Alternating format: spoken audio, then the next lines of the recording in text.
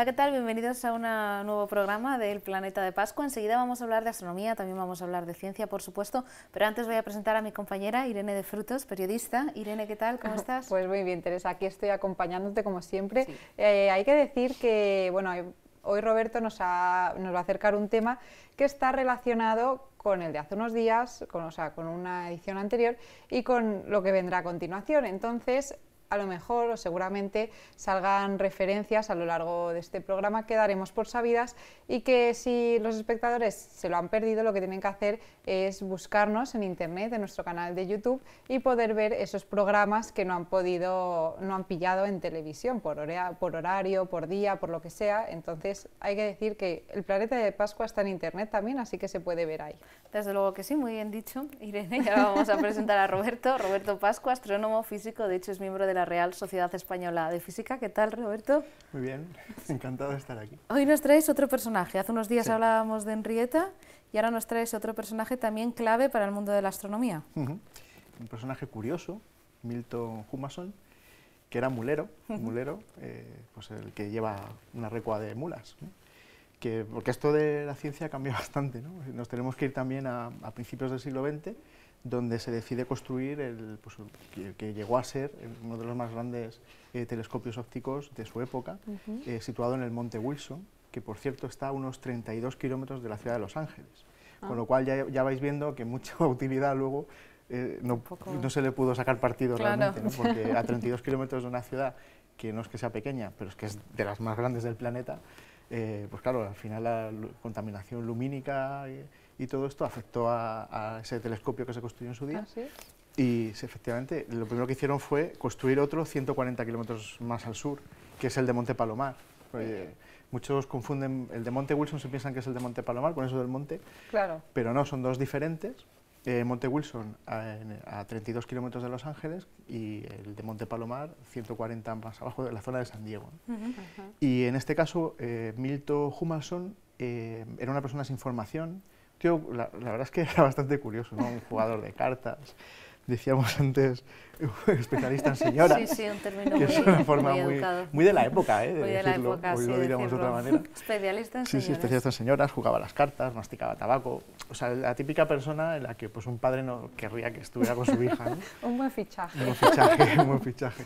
Y nada, pues su trabajo era eh, eh, mover las mulas, llevarlas, ¿no? Entonces, eh, cuando se decide construir el telescopio, se le contrata precisamente para que llevara el material, eh, llevara a los científicos, llevara a los ingenieros, llevara la... se hacía todo en mulas. Se hacía todo en mulas, claro, no había forma de subir a la cima de una montaña si no era con mulas. Con un animal. Sí, y, decía, llevaba ingenieros y llevaba también a la hija de, uno de los ingenieros.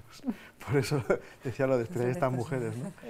Eh, pero bueno, en el fondo la verdad es que una vez lo hablamos en uno de los programas anteriores, la curiosidad realmente es fundamental en ciencia.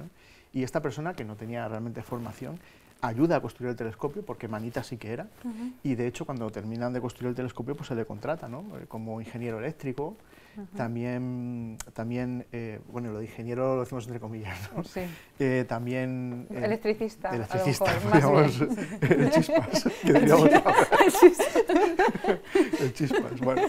Eh, y realmente eh, pasó de ser el chispas a ser alguien importante, ¿no? Pero bueno, el caso es que también fregaba el, suelo allí, era, el portero, ¿no? Digamos que era una persona multiusos, sí, el típico que esto se ha roto, pues te lo arreglo. Sí. Eh, el manitas. El manitas, el manitas, sí. Pero bueno, eso le dio también una práctica con el material, ¿no? y ya demostrar que es capaz de subir los espejos en las mulas sin romperlos, ya tiene su, su aquel, ¿no? porque la verdad es que él cuidaba bastante todo el material. Y un día le surge la oportunidad, hay unas observaciones que realizar y el astrónomo que tiene que hacerlas se pone enfermo. Entonces, como él está allí, pues oye, mm, sabe de esto, no de astronomía, pero sí sabe, conoce el, instrumental, que es lo importante en este caso, vamos a darle una oportunidad y resulta que en eso destacó, es decir, eh, haciendo las observaciones, recogiendo los datos, eh, pues más que algunos de, su, de, los astrónomos de la época, compañeros que estaban allí realmente, ¿no? y, le vino muy bien como oportunidad para poderse quedar, de hecho, allí, ¿no? Y eh, justo en esa época, pues estamos hablando ya de finales de la Primera Guerra Mundial, llega al observatorio Edwin Hubble, que hablaremos después de él. ¿eh? Y, es que él, realmente Hubble era el polo opuesto, una persona súper culta, que había estudiado en Oxford, venía con su acento ahí de, de Oxford. claro, puedes decir, estos aquí no, no, van a pegar ni con cola. y pues sin embargo, hicieron una pareja excepcional. Ah, congeniaron. Congeniaron desde el minuto uno. Su forma de trabajar ha dado grandes éxitos a la, a la astronomía de, de, la época. Decías antes, Irene, que, que, estaba relacionado un poco lo que quiero contaros de lo que hizo Milton con el programa anterior, que era de Henrietta. Acordaos que Henrietta es capaz de poner distancia a las galaxias, ¿no? Eh, ¿Cómo lo hizo? Pues está en el otro programa, no vamos a entrar ahí. Pero gracias, gracias a Henrietta, realmente, eh, los astrónomos eran capaces de poner distancia a pues, cosas tan lejanas como una galaxia. ¿no? Eh, vamos ya con, Milton, con esa, esa dupla Milton-Hubble, porque es muy curioso, estando ya Hubble allí, después de la Primera Guerra Mundial, Slipper, que es un astrónomo que estaba investigando en el observatorio Lowell, estaba analizando espectros de galaxias, luego si queréis os, cuento un poco qué es eso para que no... Vale, espectros de galaxias. Espectros de galaxias, suena, raro, pero es muy interesante. Y eh, bueno, es Newton, todo eso lo debemos a Newton en este caso. ¿no? Eh, bueno, estaba analizando espectros de galaxias y veía cosas raras que él no sabía explicar y que estas cosas las explicaremos en otro programa. La cuestión es que él les pide a Hubble y a Milton, oye, ¿por qué no analizáis vosotros también? Cogéis galaxias analizáis los espectros y me decís qué veis. ¿no? Y ahí es donde entró en juego eh, Milton, porque era eh, muy escrupuloso, eh, era capaz de medir mm, espectros mucho mejor de lo que lo hacían los astrónomos, y gracias a él descubrimos que esas galaxias, que ya le habíamos puesto distancia gracias a Henrietta, se estaban alejando de nosotros. ¿no? De ahí todas, de ahí a la ley de Hubble de que el universo está en expansión, había un, pequeño paso. ¿no? Por eso os digo que, que estos, esta serie de programas están un poco eh, hilados entre ellos. Claro, nos están pues dando, como decía Irene, que los vean en YouTube. Que los vean en YouTube. Nos están dando la base de toda la cosmología que tenemos ahora. Eh, es muy curioso porque una vez que, este señor eh, analiza los espectros, descubre que están todos desplazados hacia el rojo. aquí hay dos temas que son interesantes. ¿Qué es eso del rojo? Uno es el espectro y otro es el rojo. Podemos empezar por el efecto Doppler, que es más sencillo de entender, porque mm, lo tenemos muy en el día a día. ¿no? Y además me hace gracia porque la gente dice, yo no entiendo la relatividad y no entiendo cómo el tiempo va más despacio, más deprisa. Vale, pero todo el mundo entiende que si un tío va en una sirena, en, una, ambulancia con una sirena, que va dentro y oye el nino, nino, nino, todo el mundo entiende que esa frecuencia es la que es, ese sonido es el que es, pero cuando uno está fuera y la ve pasar, esa frecuencia cambia, ¿no? Bueno, esto es parecido. El efecto Doppler es eso mismo, eh, dependiendo de cómo se mueve el objeto, eh, va, haciendo que se vayan apelotonando las, las ondas y se tiene más agudo, o si se está alejando, las ondas se van alargando y entonces es más grave. ¿no? Esto llevado a lo que es el espectro electromagnético, lo que significa es que si un objeto se está acercando hacia ti, la luz va a tender a irse hacia el azul, porque la longitud de onda se acorta. Como cuando viene la ambulancia, y va apelotonando las ondas sonoras. Ese es que se va al rojo, ¿vale? En, el ah, visible. Es lo mismo, porque la luz es una onda, igual que el sonido, con sus diferencias evidentemente, pero el comportamiento como onda es el mismo. Entonces, si el objeto se acerca hacia ti, eh, lo oyes más agudo, lo ves más azul. Si el objeto se aleja de ti, lo oyes más grave, lo ves más rojo. Entonces, lo que descubre Milton es que todas están desplazadas, su espectro, hacia el rojo. Y ahora, ¿qué significa eso del espectro? Bien, tenemos una luz blanca, si la hacemos pasar por una rendija y ponemos un prisma, la descomponemos en colores. Claro, eso es lo que descubre Newton. Pero lo que, la magia de todo esto, y esto es curioso porque gracias a esto podemos saber qué están hechas las estrellas, y porque uno puede pensar, ¿cómo podemos saber de qué está hecho algo si estás aquí? Es imposible, ¿no? Pues no, no es, no es imposible. Em, si tú haces eso de descomponer la luz en colores, pero pones un gas en medio, el gas, son átomos, moléculas, van a absorber parte de esa luz. Entonces, cuando tú veas ese espectro de colores, eh, te van a faltar líneas. Va a haber rayitas oscuras, digámoslo así, en determinadas longitudes. Porque la ha absorbido el átomo que está en medio.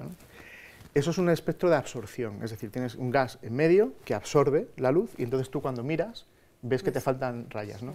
Curiosamente, cada átomo, cada molécula absorbe siempre, siempre, siempre la misma frecuencia. con lo cual es como una firma. Si te falta la línea tal, es, es calcio, siempre. Ah. Si te falta la línea tal, es helio, siempre. Por eso sabemos de qué están hechas las estrellas. Porque aparte de que hay un espectro de absorción del gas que está en medio, hay un espectro de emisión, es decir, los átomos emiten luz y siempre emiten su misma longitud de onda, su misma frecuencia. Entonces, tú puedes ver esa frecuencia y es siempre la misma. Entonces, cuando te llega la luz de una estrella, si analizas el espectro, sabes de qué está hecha la estrella. Ah, Porque lo que te está dejando ahí, las, las, líneas de emisión, sobre ese espectro hay unas líneas de emisión, es lo que emiten los átomos que están ahí, en esa estrella. Entonces, ¿qué significa analizar espectros? Pues es lo que hacen todos los científicos, que es ver de qué están hechas las estrellas, y en este caso, ¿por qué se desplaza? Porque la estrella se está alejando. Entonces, esa luz, os explico, imaginaos que la línea del helio se corresponde con, con X, digámoslo así, una longitud de onda determinada. Si ese helio se está alejando porque está en una galaxia, está en una estrella que está en una galaxia que se está alejando, ¿qué le ocurre a esa, a esa X que está desplazada hacia, si se está alejando, hacia el rojo? Porque esa luz sufre ese efecto Doppler, igual que el sonido. Entonces, todos los átomos de esas estrellas que están en esas galaxias se están alejando de nosotros, pues todas esas rayitas que vemos están desplazadas hacia, el, rojo. De hecho, a lo mejor esto no os va a liar, pero vais a decir, uff, Madre mía. Pero, hasta, aquí nos hemos enterado, Roberto. no, pues entonces, ahora, pues ahora vais a entender. Cuando explota el Big Bang, cuando nace el universo, hay una explosión y tal. Sabéis que en esos primeros 300.000 mm, años del universo no hay luz, porque está, la materia absorbe toda la radiación, pero a partir de los 300.000 años el universo se hace visible. Que es, y me diréis, ¿y qué se ve? Pues se ve esa famosa radiación de fondo de microondas que descubrieron Arno Penzias y Robert Wilson, que les dieron el Nobel porque la encontraron con una antena de radar de la Segunda Guerra Mundial, que no sabían qué era aquel ruido, y descubrieron la radiación de fondo, que os he dicho antes, es microondas. ¿Por qué? Porque cuando eso explota es luz visible, pero como, como se ha ido alejando, digamos, el universo se va expandiendo, esa luz se va alargando esa longitud de onda y ha pasado del visible, microondas, y en un futuro pues serán ondas de radio, que tienen la onda todavía más larga. ¿eh? Por eso se detectan microondas y no se detecta en el visible. No ves el universo explotando en luz visible. Ah. Ves la radiación de fondo en, microondas, no en el visible, porque se está alejando. Vale, y Roberto, ahora yo tengo una duda que me ha surgido pues durante todo el programa, que a lo mejor... ya, se aguantaba. ¿eh? Ah, he aguantado, pero es que a lo mejor me, me, dices, eso ya te lo he contestado con tal cual, tengo que hilarlo, ¿vale? No te preocupes. No, es, estamos hablando del universo está en expansión. ¿Eso qué significa? Que el universo está en expansión, ¿qué significa? Vale, eso significa, mires donde mires, todo se aleja de ti, digámoslo así, sin que tú estés en un sitio especial. Sí. Bueno, eh, a ver, obviamente la gravedad tiene una función primordial en una zona local, ¿no? como puede ser donde estamos nosotros. De hecho, eh, os decía, Slipher les pidió que midieran los espectros. ¿no? Slipher estaba midiendo el espectro, eso os lo contaré en otro programa, de Andrómeda y vio que salía azul, es decir, que Andrómeda se acercaba y se acerca y colisionará con nosotros. En un futuro ya, ya lo hablaremos otro día, no te preocupes. No, no el, sol, pero dentro de mucho... el sol desaparecerá antes. No, no empiezas ah, con catástrofes. Dentro de 5.000 millones de años, ah, eh, ambas galaxias fusionarán. Pero Andrómeda no era esa que no se sabía si era real o no. No, esa era Némesis. Eso, Némesis. Uf, estás mucho más puesta que yo. Andrómeda... es otro programa, hay que verlo en eso, eso. Andrómeda SM31, catálogo es verdad, de Es verdad, es verdad, es verdad, Nemesis, Nemesis. que se ve, yo nunca, nunca he sido capaz de verla a simple vista pero con unos prismáticos se ve, se ve una manchita borrosa, con unos telescopios se ve perfectamente. Lo difícil con el telescopio es encontrarla, si no tienes un, un go-to que te lleve, pues quiero ver M31 y el ordenador te mueve el telescopio, si no, es muy difícil verla. Yo he conseguido verla moviendo el telescopio a mano, porque sé dónde está y sé cómo se mueve el telescopio, pero es complicado, y le eché mi media hora. ¿vale? Eh, esa galaxia viene hacia nosotros y, y, nos está alejando. Te digo, todas se alejan, pues esa no, pero es porque gravitacionalmente se atraen o sea, hay efectos locales. el universo se está expandiendo y se expande según la constante de Hubble, que la veremos en más adelante, ah, a unos 70 kilómetros por segundo por megaparsec. ¿Esto qué significa? Vale, ¿qué es un megaparsec? Vale. Un mega, pues eso está relacionado con la trigonometría, pero no vamos a entrar ahí. Un megaparsec, eh, no, os lo voy a contar de una manera sencilla. Vale, sí, porque queda menos de un minuto además. Sí, pues nada, un megaparsec son, eh, un parsec son 3,26 años luz, un megaparsec son 3,26 millones de años luz. Entonces, una galaxia que esté a 3,26 millones de años luz, si quitas efectos locales, que se atraigan gravitacionalmente, etcétera, se alejaría de ti a 70 kilómetros por segundo. Ya está. Vale, wow. Vale. ¿Vale? Entonces, si estás más lejos de un Qué megaparsec, vas más Para rápido. toda leche, ¿no? Va- cada vez irías más rápido. Va muy rápido. Va muy rápido, va muy Roberto. rápido. que se- Bueno, Roberto, pues estaremos ansiosos de que llegues con el siguiente tema, en el siguiente programa. Pero bueno, hasta entonces, nada, nosotros ahora te seguiremos bombardeando a preguntas cuando corten la emisión. Pero bueno, Roberto Pascua, muchas gracias por acompañarnos. Te esperamos en el próximo programa. Irene de Frutos, periodista, también muchas gracias A por ti, estar Teresa. aquí. Y ahora a seguir preguntando a Sí, Roberto. sí, bueno, decir que eh, Humanson fue más reconocido que Henrietta, ¿no? Era chico.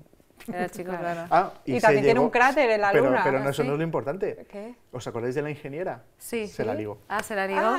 Pero se la ligó con. Se, la ligó, ligó, se que la se ligó, ligó, que se casaron. Ah, vale, en vale. aquella época no te la podías ligar de otra manera, por muy, por muy especialista mujer el que fuera. Es que como especialista en mujeres, digo, a saber. Pero bueno, pues nada, muchísimas gracias por acompañarnos y a ustedes también muchísimas gracias por seguirnos. Eh, pueden seguir disfrutando de Déjate de Historias Televisión y nosotros enseguida volvemos con otra entrega del Planeta de Pascua. Hasta entonces.